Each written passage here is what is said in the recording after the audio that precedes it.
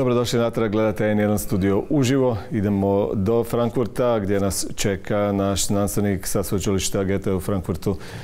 Ivan Đikić, dobar dan, dobrodošli profesore Đikić.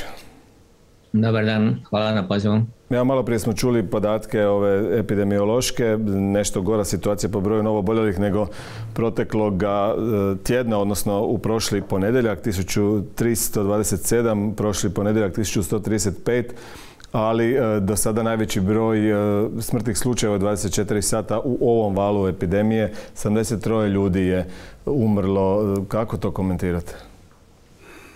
To je posljedica onoga što su vam liječnici u Hrvatskoj, pogotovo iz bolnica, najavljivali prije dva, tri tjedna. Oni su rekli prije dva tjedna je bilo takva situacija da ćemo imati sada velike broj umrlih. I ovo što se događa danas možete za dva, tri tjedna projicirati. Vjerojatno će biti i više od ovog broja umrlih, što je stvarno jako, jako velik i žalostan broj, jer mogli smo i veliki dio tih umrlih spriječiti pravilnim akcijama u pravo vrijeme. Na što mislite kad to kažete? Pa mislim da smo trebali prekinuti ovaj jedan nekontrolirani ciklus širenja virusa u našoj populaciji. To se moglo napraviti pravilnim mjerama, pravilnim epidemiološkim postupcima. Ukazivali su na to mnogi stručnjaci u Hrvatskoj, mnogi liječnici, pa čak i članovi stožera koji su ukazivali da su potrebne pravilne mjere. A pravilne mjere su bile sprečavanje širenja virusa, nošenje maski, sprječavanje okupljanja ljudi u velikom broju u zatvorenim prostorijama, održavanje distanci i normalno uvođenje ovih covid potvrda koje su trebale biti uvedene prije jedno 5 do 6 tjedana da bi imali učinak pravilan. Kad kažete uvođenje COVID potvrda i njihov učinak, na čemu temeljite e, tu vašu izjavu? Pitam to zbog toga jer oni koji su protiv COVID potvrda kažu da one nisu ni znanstveno ni iskustveno e, utemeljene i da, nema zapravo nikakvih podataka i dokaza da bi one doprinjele e, zaustavljanju širenja pandemije. Pogledajte samo rezultate iz zemlje koja je vrlo slična nama ili blizu nama, a to je Italija. Italija je uvela COVID potvrde prije vjerujem više od 5 do 6 tjedana. E, bio sam nedavno u Napolju, na jugu Italije. Gdje god sam bio, ušao sam u restorane, pizzerije, muzeje. Uvijek sam trebao pokazati svoju e, COVID potvrdu sa svojom osobnom kartom. Nikakvog problema nije bilo i svi se toga pridržavali ne samo da su COVID potvrde spriječile širenje virusa i to znamo da ih spriječavaju jer toga je što manje ljudi okuplja u zatvorenim prostorima, oni koji su necijepljeni. Ja, također moram uvijek reći da i oni koji su cijepljeni u manjem broju nose, ali brojevi su toliko jasni da je jasno da su COVID potvrde i na to djelovale. Ali onaj dio gdje su COVID potvrde također imale veliki učinak, a to je bila poruka italijanske vlade, vrlo odgovorna poruka i stroga poruka mi želimo povećati broj onih koji su cijepljeni radi toga jer moramo zaštititi svoje društvo, moramo zatužiti većinu koja je cijepljena. I to je dovelo do toga da se u Italiji broj onih koji su bili nesigurni, koji su se bojali zbog bilo kojih razloga ili su bili zbunjeni, oni su se sada u većem broju procijepili, tako da je broj procijepljenih u Italiji značajno porastao nakon što su uvedene COVID potvrde, a to vidite momentalno i u Hrvatskoj sa ulaskom i samim najavom donošenja COVID potvrda broj cijepljenih je porasao. S jedne strane e, kažu neki to je soft metoda da bi se povećala procijepljenost, a s druge s obzirom na to da i cijepljeni e, prenose virus, mogu ga širiti dalje, na neki način stvara stvara lažnu sigurnost i kod njih i kod ovih ostalih i na taj način se nikako ne prekida onda širenje virusa. Pa budemo točni s brojevima. Jest, to je soft metoda, zato sam rekao to je trebalo dovesti, uvesti prije. Kada nismo imali ovako divlje širenje virusa u, sa 40-50% pozitivnih testiranih. Tada vam i COVID potvrde manje djeluju. Upravo radi toga, jer u tom velikom broju širenja i oni koji su cijepljeni i oni mogu biti nositelji virusa i to znamo, ali brojevi su značajno manji. I to se govori od, recimo, prije je bilo 5 do 6, danas je čak i manje od toga, možda je možda 2 do 3 puta manje. Ali i to, svaki broj manji je značajan. Da li je to soft metoda ili ne, jest. Kako možemo ju bolje primijeniti tako da kombiniramo COVID potvrde u bolnicama i sa dodatnim testiranjem, tako da vi možete kao ravnatelj bolnice osigurati da svi vaši radnici koji su cijepljeni budu povremeno testirani, tako da i smanjite i taj dodatni broj. I na taj način sa malim postupcima mnoge zemlje su unaprijedile svoje brojeve i mislim da je to preporuka i za Hrvatsku da se integrativno djeluje, da se uključuju i druge epidemiološke mere zajedno s potvrdama, zajedno s testiranjem i tada nećete imati te posljedice gdje će manji broj ljudi nositi, iako su cijepljeni, nositi virus iako su cijepljeni. Dakle, e, po vama nema govora o tome da se to dokazalo i pokazalo u mnogim zemljama kao neučinkovito, jer e, će vam kritičari dati primjer automatski i Austrije e, i Njemačke i drugih zemalja koje su i nakon COVID potvrda i velike procijepljenosti sada na pragu uvođenja lockdowna ili novog lockdowna kao Austrija. Opet moramo gledati kompletnu sliku. Mislim da je potpuno neprimjenje, ne, ne, jednostavno netočno i nekorektno reći da COVID potvrde ne djeluju zbog toga što u nekim zemljama imamo veliki broj zaraženih momentalno.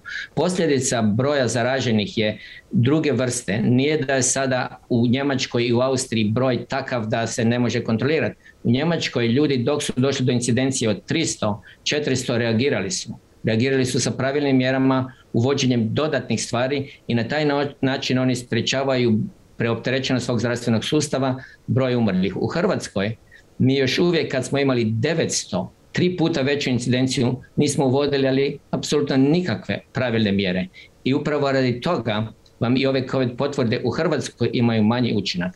I sad kritičari će reći ne djeluju u Njemačkoj, djeluju djeluju i u Austriji i u Njemačkoj. Međutim, zbog različitih razloga te vlade sprečavaju dodatno širenje i dodatno preopterećavanje i zato je broj umrlih po milion stanovnika u tim zemljama značajno manji nego u svim zemljama u našoj regiji gdje su preko 2,5 tisuće, 3 tisuće ljudi umrlih na milion stanovnika i to je ogromni gubitak, stvarno veliki gubitak.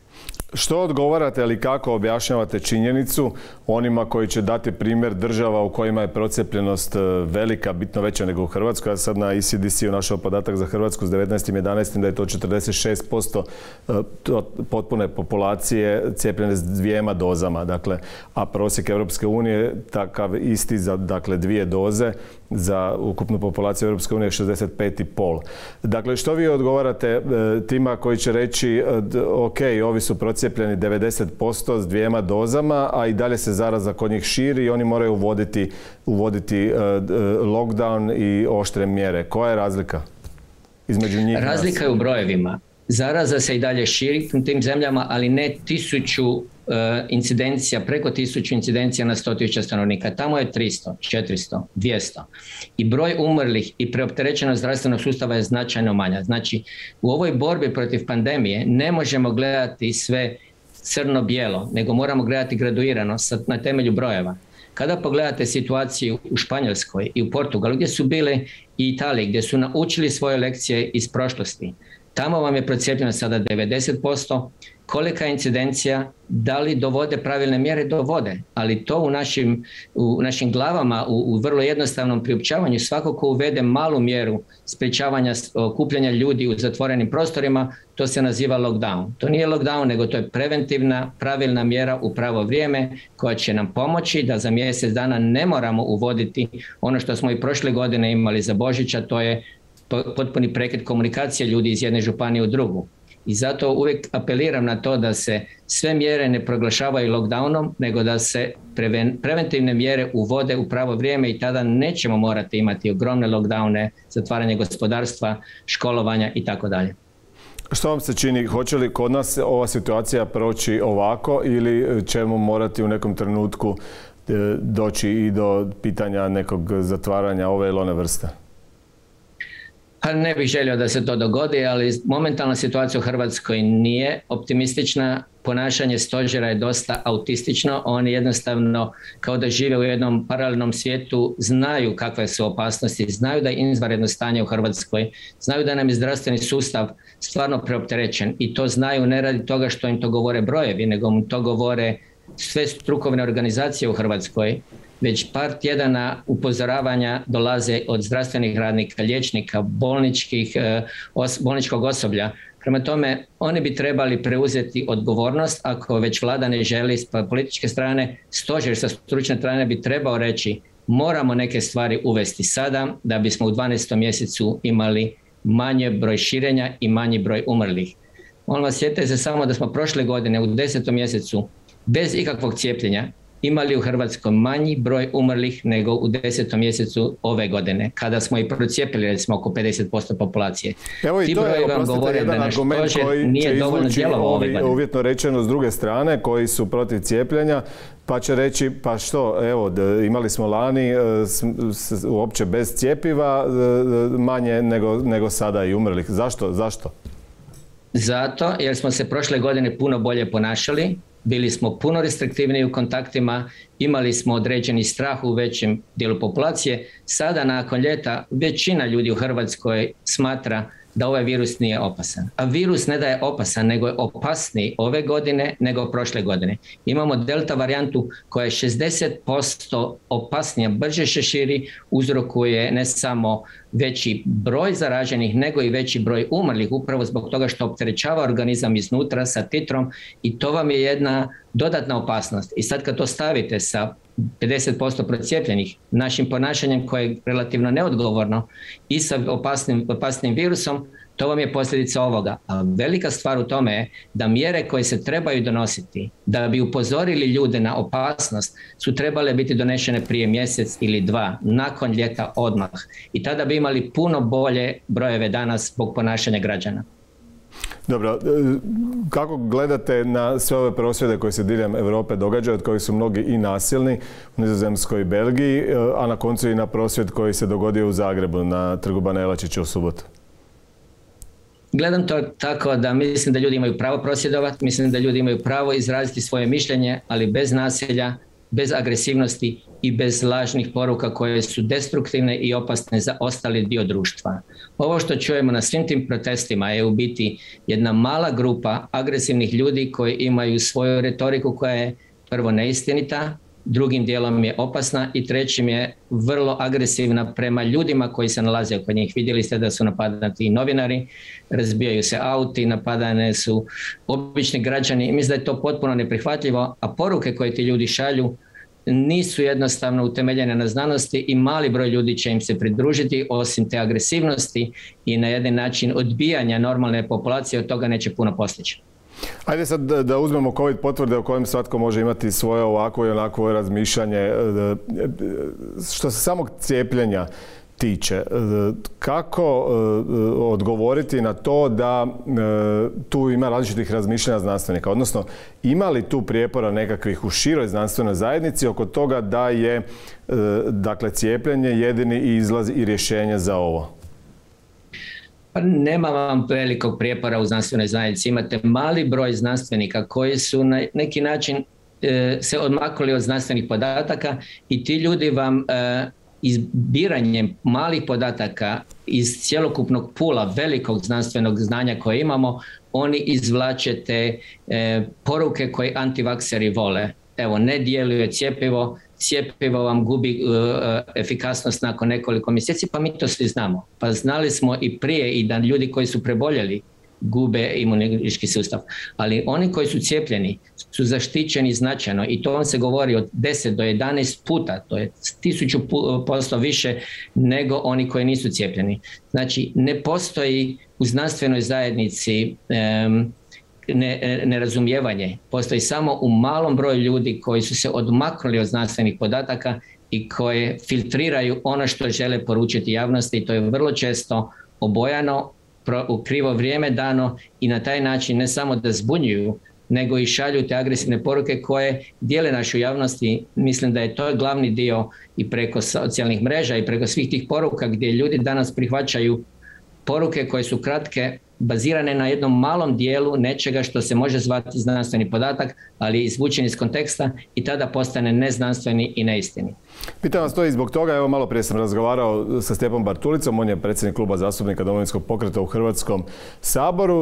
Više puta u razgovoru on se pozvao na e, profesora e, Lauca, koji više neće biti član savjeta, koliko shvaćam iz izjava premijera, da će mu otkazati e, suradnju i kaže, evo i to i mišljenje koje nije popularno i drugčije je, a svodi se na to da treba cijepiti, ali rizične skupine samo, jer kod ovih drugih nema smisla i onako ćemo se svi zaraziti, oni sad uklanjaju iz javnog prostora.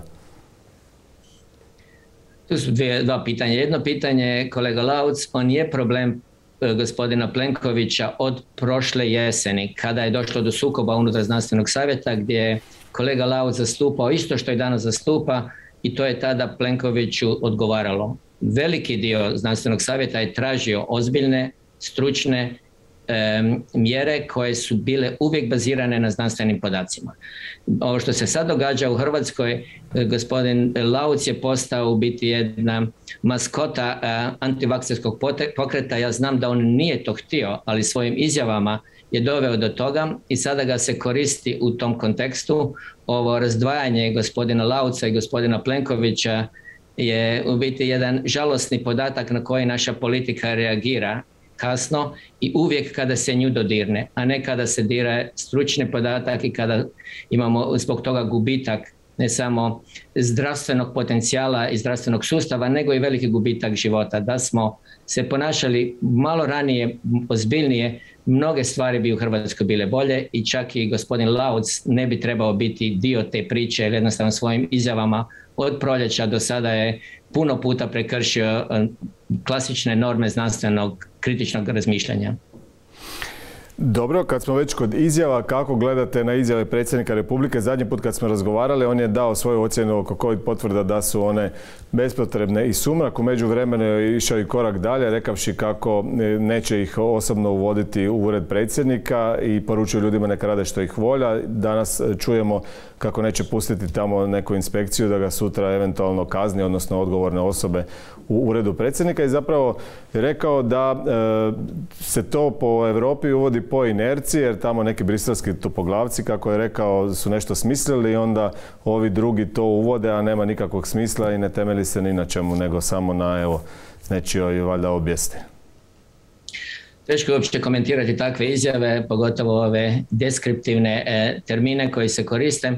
Ono što ću reći u Hrvatskoj je nažalost situacija takva da imamo predsjednika koji ima neodgovorne izjave, a trebao bi biti primjer i voditelj poruka na koji način znanost može pobijediti pandemiju.